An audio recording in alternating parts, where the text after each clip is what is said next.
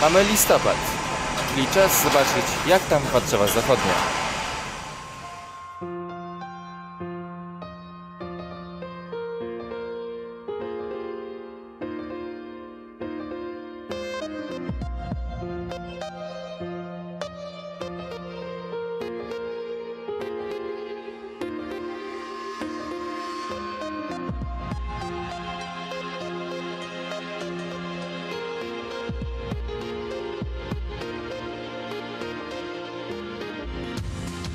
Warszawska Średnica 2050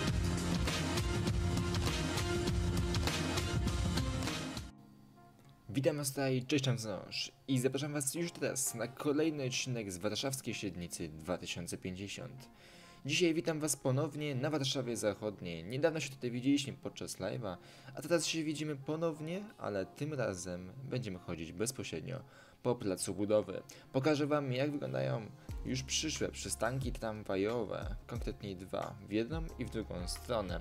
W kierunku Odolan również przejście podziemne do pylonu 9 i nie tylko, zobaczycie, nawet będzie kładka na koniec prawie. No ale dobrze, przejdźmy sobie po kolei. Najpierw od przejścia podziemnego, które jak widzicie jest dosyć dużych rozmiarów, jest to naprawdę ogromny obiekt i powoli zaczyna tutaj powstawać nawet nie tak do końca powoli, ale zaczyna powstawać już tutaj podłoga, e, dolna warstwa Dolna warstwa tego obiektu, jak widzimy, tutaj zaczyna powstawać.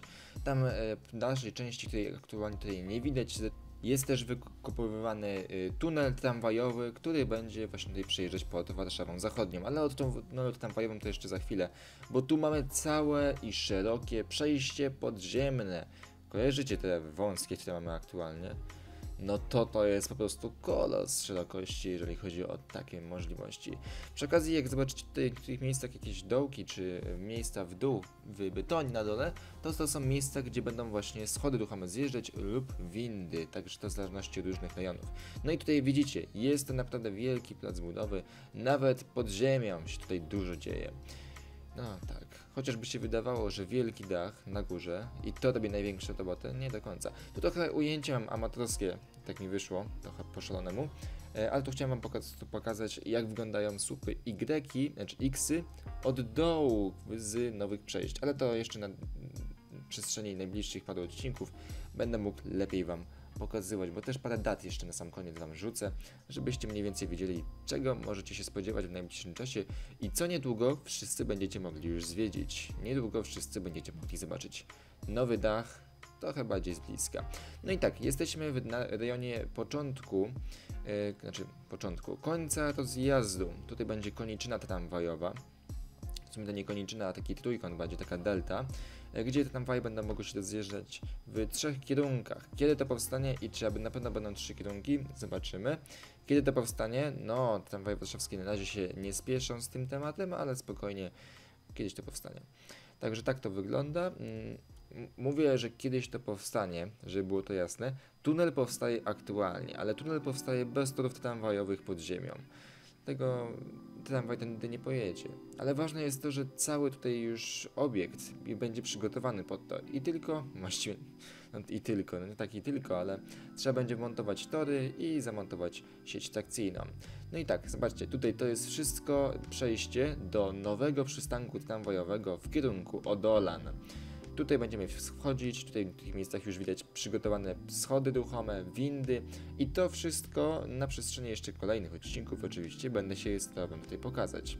Tak to wygląda. W niektórych miejscach widać już powoli y, kład, znaczy nie kładki, a schody awaryjne do ewakuacji. No i tam dalej jest jeszcze wykopywany dalej tunel w kierunku peronu 9.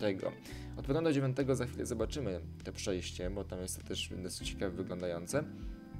Natomiast tutaj widzimy jeszcze te wspodniki tutaj trzymają, tutaj to wszystko, żeby było w jednej całości, się nie osunęło.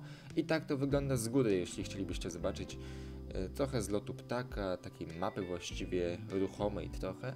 Trochę dźwigów tutaj jest ponastawionych. No i jak widzicie, to co szliśmy tam na dole było tych słupów takich malutkich, e, tych żółtych, to po prostu na nich jest układany teraz e, strop. Pierwsze e, minus 1, bo my byliśmy na minus 2, to jest układany poziom minus 1, a następnie poziom 0. Już w niektórych rejonach można zauważyć. No i tutaj trochę ten jest wyciągnięty nawet ten zakręt tramwajowy, który kiedyś, miejmy nadzieję, powstanie.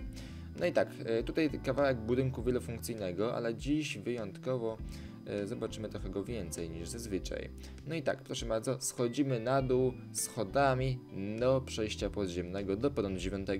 Tyle jest już gotowe i może niedługo też je zobaczycie na własne oczy, ale nie obiecuję tego wam.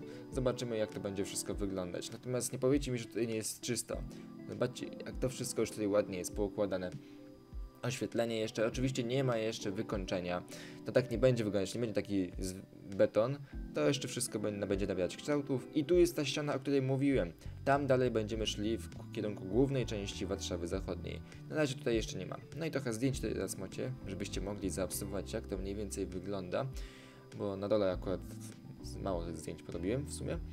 E, No i tak to wygląda, jak się wyjdzie, są też schody na drugą stronę, to jest akurat w kierunku prymasy tysiąclecia było wyjście, no i peron dziewiąty. Peron dziewiąty, z tego co pamiętam, zostanie otwarty w grudniu. Jakoś na początku grudnia, już prawie w całości, całkowicie, na całej y, powierzchni użytkowej. Z dwóch torów chyba nawet będzie już użytkowane, więc całkiem to będzie nieźle wyglądać. Tutaj możecie zaobserwować za chwilę też z góry, jak będą zdjęcia, że zostają odtworzone te tory kolejowe, o których y, tam w komentarzach zawsze mi mówicie, że nie chcielibyście, żeby powstały ponownie. E, Mam na myśli oczywiście tory do tej części technicznej, tam jakieś detezyny, ob- obiekty techniczne do, do wyjazdu na tory. To wszystko tutaj jest przygotowane, aby było ponownie odtworzone tak samo jak zostało to rozebrane. No i ewidentnie widać, że te bocznice już powoli są odtwarzane z nowymi nawet zwrotnicami. Także tu wszystko wraca na swoje miejsce, jak to wyglądało wcześniej. No i kolejne zdjęcia z drona, abyście mogli też trochę zaobserwować, jak to wygląda na dole. Tutaj ten chodnik, który widzicie, on będzie teraz dociągnięty bezpośrednio do tego przejścia e, podziemnego, bo tu na ziemi nie będzie. Nie będzie żadnych przejazdów kolejowych, przejść dla pieszych przez e, tory. To wszystko zostanie w tym rejonie zlikwidowane. No i tak, tutaj aktualnie w tym miesiącu będzie przekładanie e, torowiska. Właściwie to już się pewnie wydarzyło dla większości z Was, jak to oglądacie. Z tego co pamiętam, to jest 8 listopada.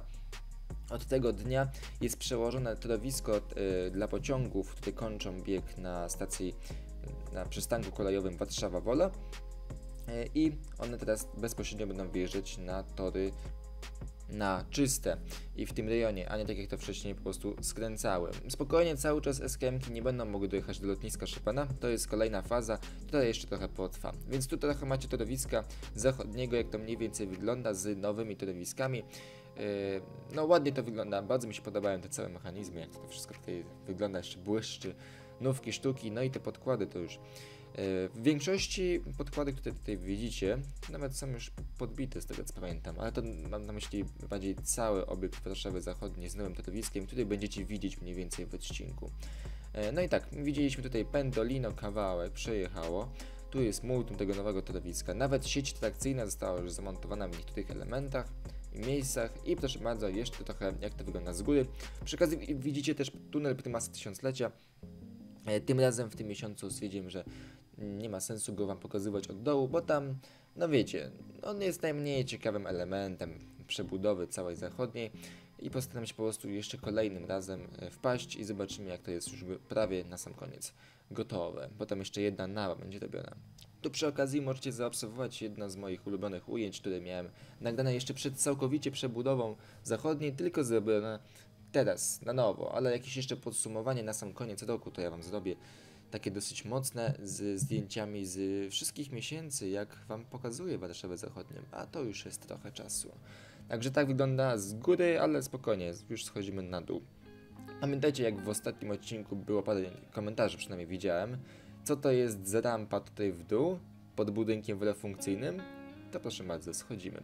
Tędy będą dojeżdżały dostawy i inne pojazdy towarowe do budynku wielofunkcyjnego. Na przykład gastronomia czy usługi, które będą się znajdować się na Warszawie Zachodniej, będą tędy mogły mieć robione dostawy. Tu zobaczcie w ogóle, jakie to są wielkie wywieczniki, to jest ogromne. E, No i tak, tu proszę bardzo, od drugiej strony e, budynku tego wielofunkcyjnego zbytnio Wam nie pokazuję teraz, bo to tam też dużo się nie, nie dzieje, co nie? Bo to jest jeszcze bez wykończenia wszystkich obiektów, elektroniki i tak dalej. Nie wiem co wam tutaj pokazywać, dlatego w przyszłych materiałach za jakiś czas pokażę wam trochę więcej tego środka.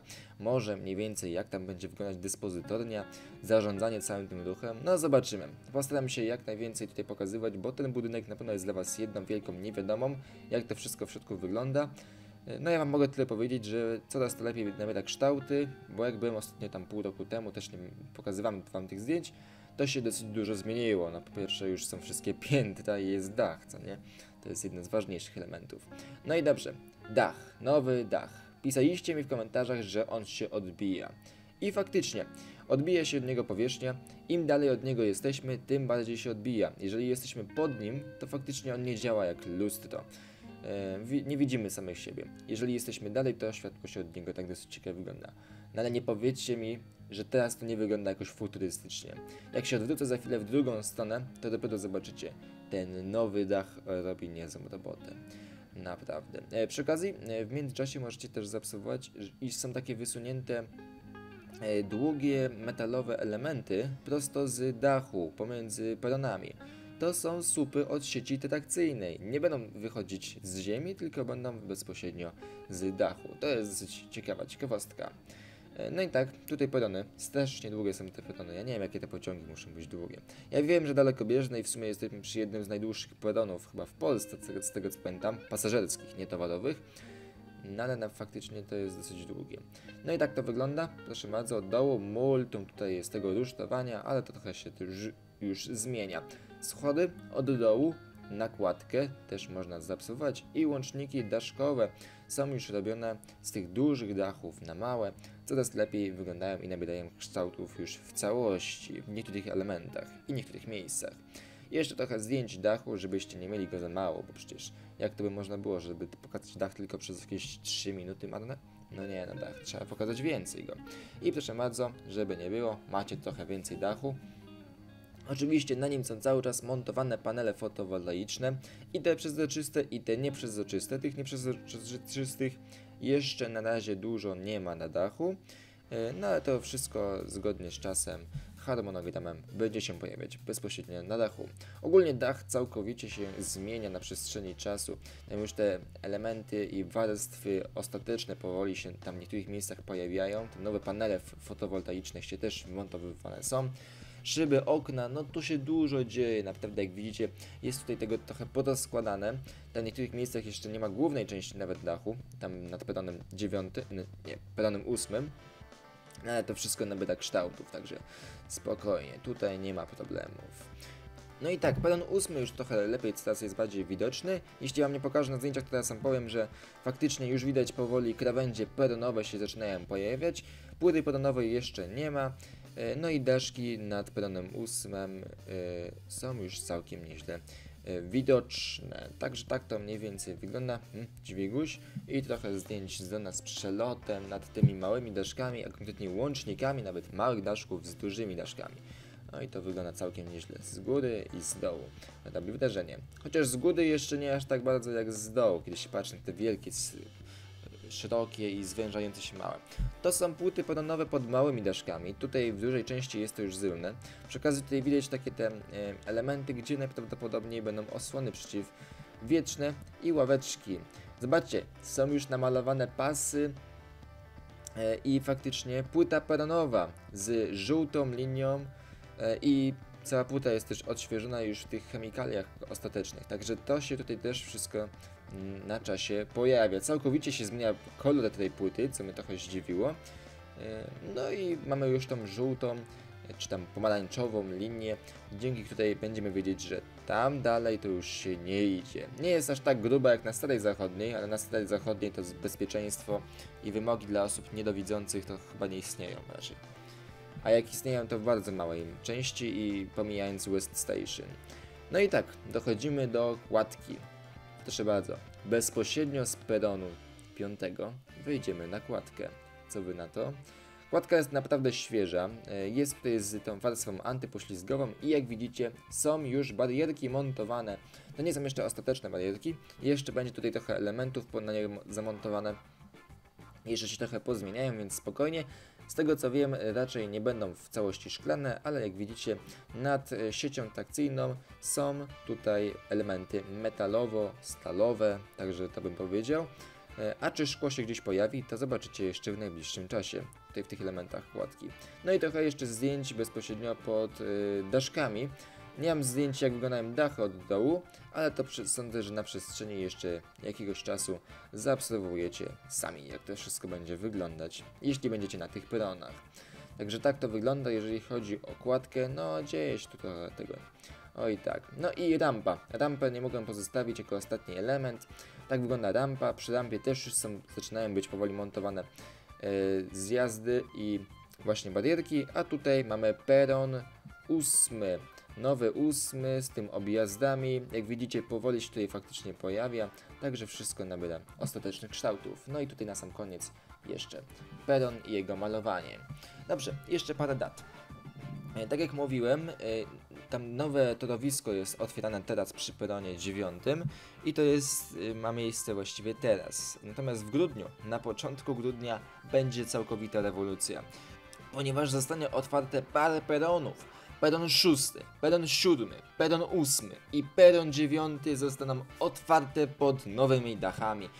E, Na peron 9 jeszcze nie wiemy dokładnie jak będzie się dochodzić. Możliwe jest szansa, że będzie to już przejściem podziemnym, ale zobaczymy jak to będzie wyglądać. Natomiast faktycznie pod nowymi daszkami w grudniu będziemy już mogli odjechać pociągami dalekobieżnymi dalej, siną dalej. E, Pociągi podmiejskie nie będą miały wstępu na razie pod nowy dach, po prostu tak torowisko jest skonstruowane, że na pod, linię podmiejską nie da się wjechać, chyba że jakieś podmiejskie będą jechać na Warszawę Główną, to wtedy faktycznie tędy będą mogły przejechać, ale raczej wątpię. Te perony też są wyjątkowo długie dla pociągów podmiejskich, e, więc one są zrobione specjalnie dla pociągów dalekobieżnych. I miejmy nadzieję, że niedługo zobaczymy już tam faktycznie jeżdżące pociągi. Także tak jak mówiłem, w grudniu to się zmieni.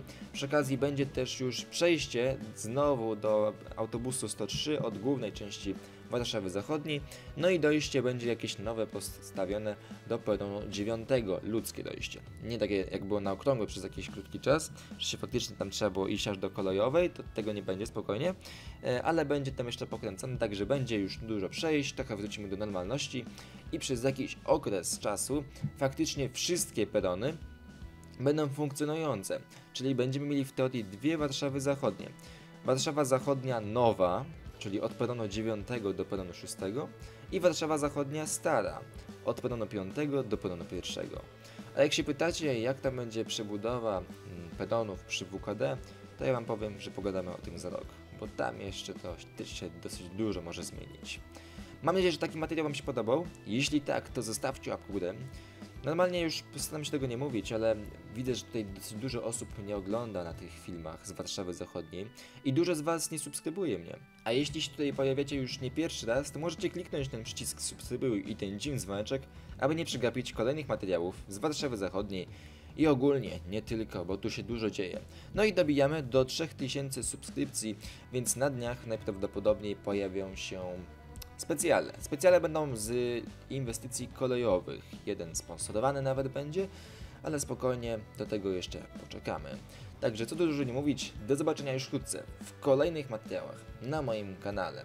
Kolejne po tym filmie najprawdopodobniej będzie mniejsze z tym, a z inwestycji kolejowych czy jakichś innych warszawskich to jeszcze nie mam zielonego pojęcia. Do zobaczenia już niedługo w kolejnych materiałach na moim kanale. Kolejne zdjęcia z Warszawy Zachodniej bezpośrednio z placu budowy. Miejmy nadzieję, że się pojawią jeszcze w tym roku. Do zobaczenia. Cześć!